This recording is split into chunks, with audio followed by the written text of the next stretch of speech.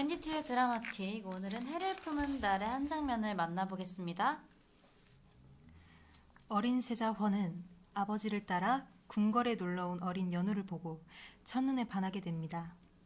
나와 같이 놀자꾸나. 계속해서 연우와 함께 하고 싶은 어린 헌.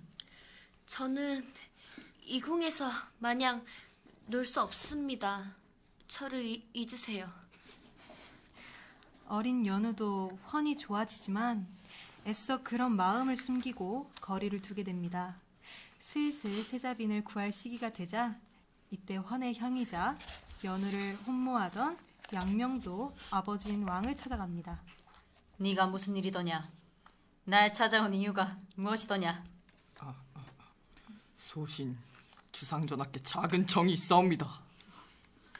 네가 나에게 정을 말해보거라. 마음에 둔 여인이 있사옵니다.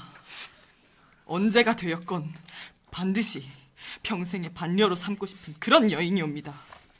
소신의 혼인에 대해 계획한 바가 있으시다면 바로 없건대 소신의 심중도 고려하여 주시옵소서. 소신 아바마마께 처음이자 마지막 청이옵니다. 어느 집안의 여식이냐? 홍문관 대제학의 여식 허연우라는 귀식이옵니다. 알았다. 생각해보마. 성은이 망극하옵니다.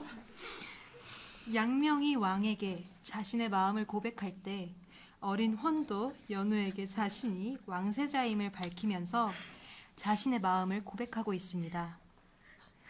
잊어달라 하였느냐? 잊어주길 바라느냐? 미안하구나. 잊으려 하였으나 너를 잊지 못하였다.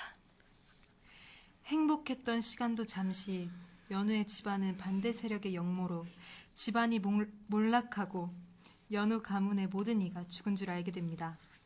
연우가 죽자 성격도 까칠하게 변하고 잠도 쉽게 이루지 못하게 된 왕세자 헌.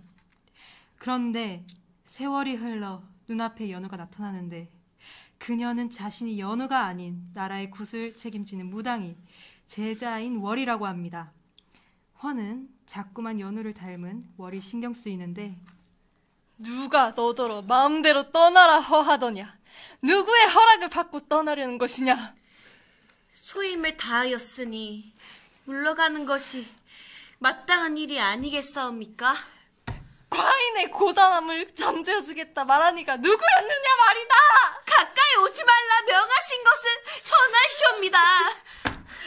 말하자라 명한 적도 없다. 나는 혼란스럽다. 네가 그 아인지 아닌지 이 감정이 무엇인지 알게 될 때까지 감히 내 앞에서 멀어지지 마라.